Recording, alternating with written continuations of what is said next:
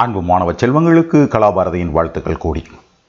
நம்ம எலக்ட்ரோஸ்டாட்டிக்ஸ் படிக்கும் பொழுது ரெண்டு விதமான குவான்டிட்டியை ரொம்ப அதிகமாக பயன்படுத்துகிறோம் பிள்ளைகளா. ஒன்று என்னென்னு கேட்டிங்கன்னா இட் இஸ் வி இன்னொன்று என்னென்னு கேட்டிங்கன்னா இ e. ரைட் வீணா பொதுவாக it is called as potential இல்லாட்டி வோல்டேஜ் ஈனா எலக்ட்ரிக் ஃபீல்ட் இன்டென்சிட்டி இந்த வோல்டேஜ்னால் என்ன அர்த்தம்னா ஒரு கூலும் சார்ஜ் மேலே எவ்வளவு எனர்ஜி கொடுக்கப்பட்டிருக்கு. In order to do work இன்டென்சிட்டினா என்ன அர்த்தம்னா ஒரு கூலும் சார்ஜ் மேலே எவ்வளவு ஃபோர்ஸ் செயல்படுது.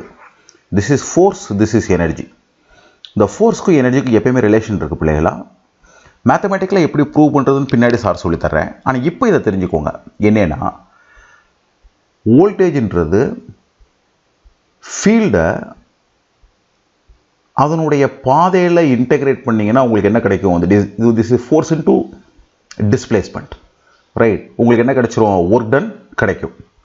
அதே மாதிரி எலக்ட்ரிக் ஃபீல்டுன்றத இன் டேர்ம்ஸ் ஆஃப் வோல்டேஜ் சொல்கிறதுனா this is negative gradient of voltage இந்த ரெண்டும் மிக மிக மிக முக்கியமான ரிலேஷன் பிள்ளைகளை இப்போ மைண்டில் வச்சுக்கோங்க.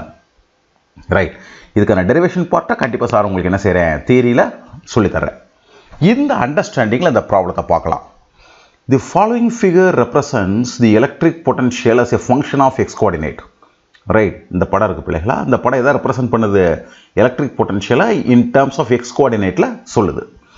Plot the corresponding electric field as a function of x அப்போ இங்கே இருக்கக்கூடிய எலக்ட்ரிக் ஃபீல்டை ஃபங்க்ஷன் ஆஃப் எக்ஸ் வந்து என்ன செய்ய சொல்லியிருக்காங்க? வரைய சொல்லியிருக்காங்க. முதல் இதை பாருங்கள் இங்கே நம்ம நம்மளுக்கு என்ன தெரியும்? நமக்கு வோல்டேஜ் கொடுத்துருக்காங்க. எலக்ட்ரிக் ஃபீல்ட் கேட்குறாங்க ஸோ எப்படி செய்கிறதுன்னு பார்க்கலாம். இங்கே பாருங்கள் இந்த ஃபங்க்ஷன் நம்மளுக்கு வேணும்னே வசதியாக கொடுத்துருக்காங்க.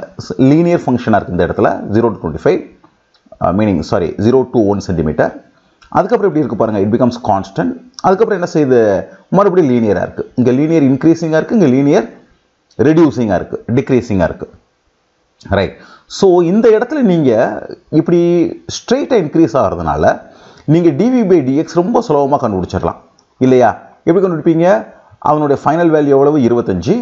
வோல்ட் இனிஷியல் வேல்யூ எவ்வளவு? ஜீரோ ஸோ நீங்கள் என்ன செஞ்சிடலாம் so twenty five minus zero twenty five divide by for எவ்வளவுக்கு? ஒன்றுக்கு ஸோ ஒன் ஸோ அதனுடைய வோல்டேஜ் கிரேடியன் டுவெண்ட்டி ஃபைவ் நமக்கு வேணுங்கிறது E this is minus dv by dx so minus twenty five so இந்த இடத்துல நம்ம என்ன சொல்லிடலாம்னா அதனுடைய இன்டென்சிட்டி மைனஸ் டுவெண்ட்டி ஃபைவ்னு சொல்லிடலாம் ரைட் இங்கே டயக்ராமில் காமிச்சிருக்கோங்க பாருங்கள் this is minus twenty five idea புரியுதுங்களா?